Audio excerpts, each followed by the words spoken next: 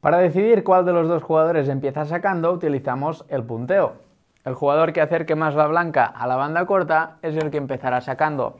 Es importante que lo entrenes a diario y que utilices el calentamiento previo para ver si la mesa es rápida o lenta. Y así ganarás muchos más punteos.